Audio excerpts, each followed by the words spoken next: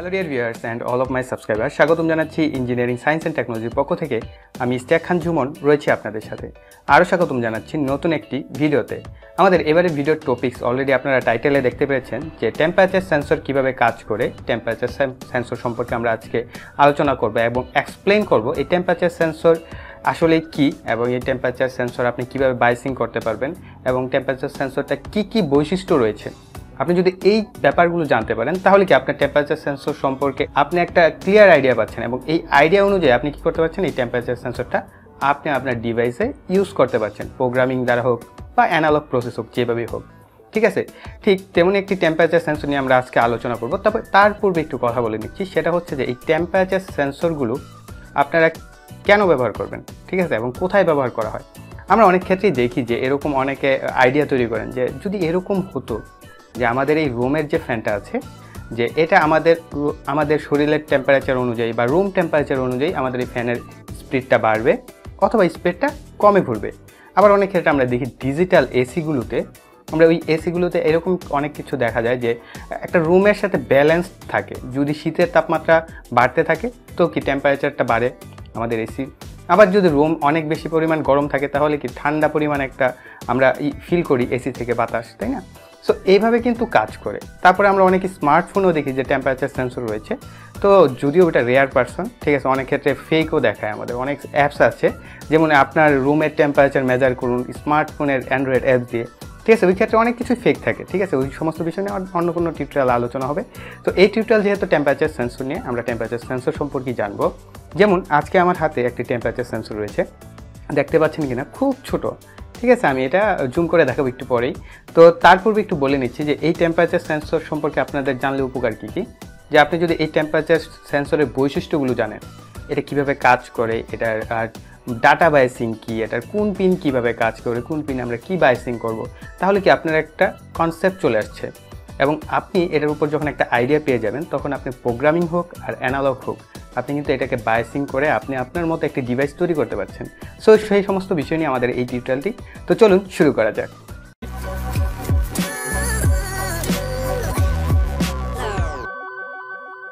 Hello friends আপনারা এই যে আমার হাতে ছোট্ট একটা ডিভাইস দেখতে পাচ্ছেন। এই ছোট্ট ডিভাইসটা হচ্ছে LM thirty five temperature sensor এবং এটার ফুল স্পেসিফিকেশন আমি বলছি। তো তার পূর্বে এটা একটু গাঠনিক বর্ণনা দিই। দেখেন, এটা দেখতে অনেকটা ট্রানজিস্টরের মতো। তিনটা টার্মিনাল রয়েছে, এক, দুই, তিন। এবং এক পাশে দেখেন, এটাকে যে মডুল তৈরি করা হয়েছে জাস্ট একশো একশো চার মানের একটি সিরামিক ক্যাপাসিটর দিয়ে। আপনি যদি এটাকে সরাসরি ইন্টারফেস করান, কোনো সমস্যা নেই। ঠিক আছে? আপনি জাস্ট ডাইরেক্ট কিনে এনেও এটাকে আপনি ইউজ করতে পারবেন। এবং এটার দাম খুবই সস্তা। এবং এটার যদি আমরা বাইসিংটা দেখি, সবার নিচেরটা হচ্ছে গ্রাউন্ড তারপরে হচ্ছে আউটপুট তারপরে হচ্ছে বিসিসি অর্থাৎ এক নাম্বারটা আপনার হচ্ছে গ্রাউন্ড দুই নাম্বারটা আউটপুট তিন নাম্বারটা আমাদের পজিটিভ সাপ্লাই পজিটিভ সাপ্লাই কী কী? আপনি কত ভোল্টেজ দিতে পারবেন? আমি আস্তে ধীরে আসছি এটা সম্পর্কে ইন ডিটেলসে তো আমি এখন আপনাদেরকে একটু ডিটেলসটা বলি এবং এটাকে একটু জুম করে দিই। ওকে সো এটার স্পেসিফিকেশনগুলো আমি বলে দিচ্ছি। আপনারা খুব ঠান্ডা মাথায় মনোযোগ সহকারে শুনবেন যে এল এম থার্টি ফাইভ এই সেন্সরটি দিয়ে আপনি সেন্টিগ্রেডের মান পার্ট নিতে পারবেন। অর্থাৎ আমরা যে প্রোগ্রামিং করব বা আমরা যে ডিসপ্লেতে এটার দ্বারা যদি আমরা প্রোগ্রাম দেখি বা আমরা এটাকে মেজার করি, তো আমাদের মেজারিংয়ের যে একটা ক্যালকুলেশন করতে হবে সেটা সেন্টিগ্রেড তাপমাত্রা স্কেলে এবং ইন্টারফেসিং খুবই সহজ। আমি অলরেডি আপনাদেরকে বললাম এটা তিনটা টার্মিনাল মাত্র। সো ইন্টারফেসিংয়ের কোনো ঝামেলা নেই। আপনি জাস্ট এক প্রান্তে পজিটিভ আর এক প্রান্তে গ্রাউন্ড আর মাঝখান থেকে আপনি মাইক্রো কন্ট্রোলার অথবা আরডিনোতে এটাকে ইনপুট করাবেন। বাস। তারপরে দামে খুব সস্তা। যেমন এটার দাম মেবি আশি থেকে নব্বই টাকা। ধরে নেন আপনি এটার দাম আশি থেকে একশো টাকার মধ্যে। এর নিচেও হতে পারে। সো এত সস্তা এই টেম্পারেচার সেন্সর এর সাহায্যে পজিটিভ ও নেগেটিভ তাপমাত্রা স্কেলিং করতে পারবেন। এটি মাইনাস পঞ্চান্ন ডিগ্রি সেলসিয়াস থেকে, অর্থাৎ আমরা যদি minus fifty five degree Celsius থেকে হান্ড্রেড ফিফটি ডিগ্রি পর্যন্ত আমরা সেলসিয়াস তাপমাত্রা নির্ণয় করতে পারব। অর্থাৎ আমরা যদি ঠান্ডার তাপমাত্রা ধরি, আমরা কি ঠান্ডা মানে কি মাইনাসের দিকে সেলসিয়াসটা আসে, তাই না?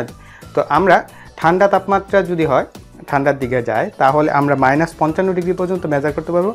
আর যদি আমরা গরম, আমরা সর্বোচ্চ একশো পঞ্চাশ ডিগ্রি পর্যন্ত মেজার করতে পারব। এর থেকে যদি উচ্চ তাপমাত্রা হয়, তখন আমাদের অন্য কোনো সেন্সর ব্যবহার করতে হবে। ঠিক আছে?